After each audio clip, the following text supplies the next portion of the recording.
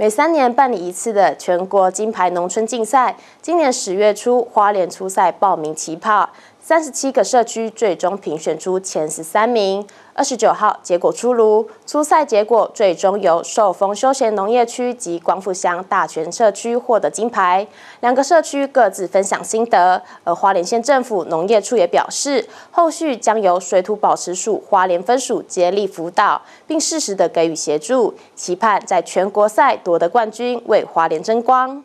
引进德国模式，每三年办理一次的全国金牌农村竞赛，十月初花莲初赛报名开跑。今年主题寻找心中的桃花源，吸引共计三十七个社区参赛角逐。历经初复审两阶段，评选出金牌农村前十三名。二十九日上午，第三届花莲县金牌农村初赛颁奖典礼揭晓最后金牌得主，分别是寿丰乡寿丰休闲农业区及光复乡大泉社区。前一次有参加过那个金牌农村，然后但是我们是用丰山社区来申请的。那这一次呢，想说把那个整个服务的范围扩大，所以我们用休闲农业区来申请。那休闲农业区呢，其中就包含了峰山社区，也含在我们的休区范围内。所以我们的整个情况，包括生产、生态、生活，还有未来这四大面向呢，我们就整个扩大。然后我们因为在这四大面向，当然评审来现审的时候，我们有一些部分是需要再改善的，尤其是在可能是在在我们的生活面可能要再加强。那这一部分呢，我们也都会在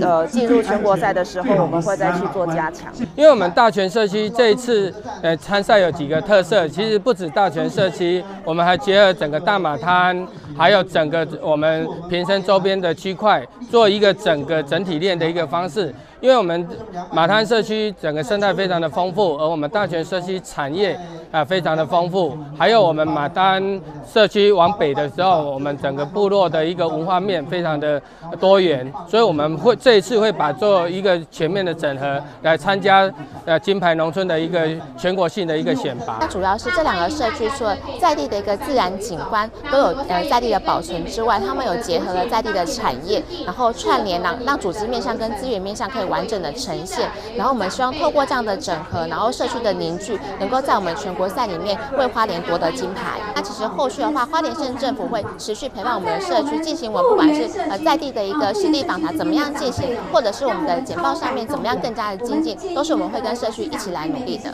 不论在服务范围或资源整合的组织面向，两位初赛金牌得主都在生产类、生活类、生态类以及未来性有效整合规划，并展现出拼进决赛的企图心。接下来将由农业部农村发展及水土保持署花莲分署接力辅导。县府农业处也表示将持续提供适时协助，期盼在全国赛夺得冠军，为花莲争光。记者蒋邦彦华莲市报道。